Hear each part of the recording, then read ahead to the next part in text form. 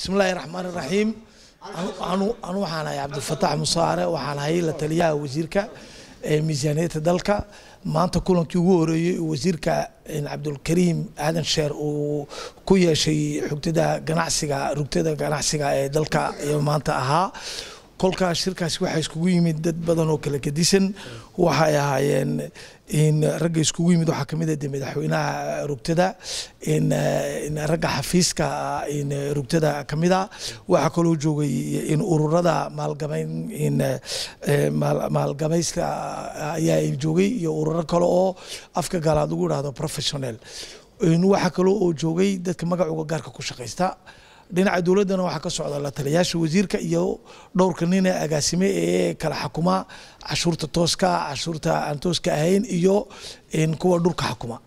Waxa de kulankaasi ahaa in horta la isweydaarsado aragtida ay dadka magacooga gaarka ku shaqaystaan kaleyihiin si arrimaha dowladdu ay u socdo weliba sida gaara miisaaniyadda dalka kolka la xisaaminaya ee la dhigayo in sida loo dhigo wasiirku wuxuu aada u taabsaday uu ka yidhi maanta kadib waxaan doonayaa haddeed horta inaad qof dhexdiina ka soo dooratiin oo nala shaqeeya si gaara oo kolka aan miisaaniyadda dalka samaynayno aragtidiina sheega iyo siday waxnila yihiin iyo waxaan ku tala jirno inuu ay fikradiina ka dhiibatiin. Taasi waa kow. Taa meel baa laysla dhigaya haddeed qof iyaga kamida yaa noo imanayo anaga nala shaqeynayo oo aragtidoodna nashanaya talabaada meel laysla dhigay waxa weeyaan in amba bil amba labadii biloodba kol laysla kulmo oo dee laysweydaarsado dhibaatooyinka gaarka ee haysta dadka magacdooda gaara ku shaqaysta. Ta saddexaad wasiirku wuxuu weydiistay inay iyagu laba meelood meelmoodba ka soo qayb galaan laba dagaaloodba oo wasaaraddu ay ku jirto ay ka soo qayb galaan. Midi waxa weeyaan si loola dagaalami lahaa shaqala-aanta dhalinyarta haysata inay si gaar uga soo qayb galaan ay yimaadiin ay sheegaanda waxay ka qaban karayaan iyo inta dad ay shaqo geyn karayaan. Talabaada kaloo wasiirku weydiistay waxa weeyaan waxa afka gaalaad lagu dhaha secteer informel dadka ganacsiga ganacsatada ee dee meelba jirin ee dowladduba ay garanayn ee magaalada ka shaqaysta. Wuxuu yihi dadkaasi waa inaad soo hanuunisiin oo soo waddada fiican ku soo ridiin oo deed ku soo ridiin secteer formeelka.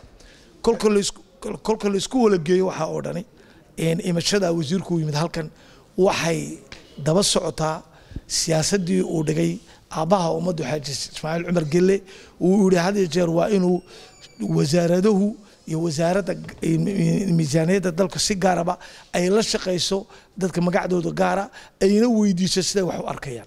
Horta ta ugu horeysa way ku farxeen oo maalintii ugu horeysay ee laga idhaada kaalaya ka soo qayb galo oo awal kolka la diyaariyo xerarka la diyaariyo ama xildhibaanada la horgeeyo unbay unbay si ababuri jireen amba dee iyadii oo dhan baan horkeeni jirnay.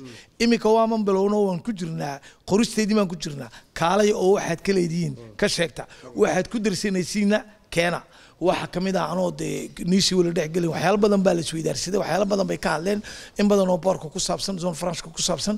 Laakiin murtida waxaan imika nii soo qaaday raggan tigirada gooya ee shirkadaha tigirada gooya dhibaato badan baa ka haysata. Jabuuti tigirada duuradaha ka duula intooda badan tigirada dibadda laga gooya internetka laga gooya. Dadkaasi dee ma bixiyaan cashuurada ay raggani bixiyaan. Taana wayna hordhigeenoo raggaasi waxay dhahdeen fikrad iyo waxaan haynaa malo. Sida ay xeerarka ay raggaa loola mari lahaa oo cashuurta anagu bixinaba looga qaadi lahaa.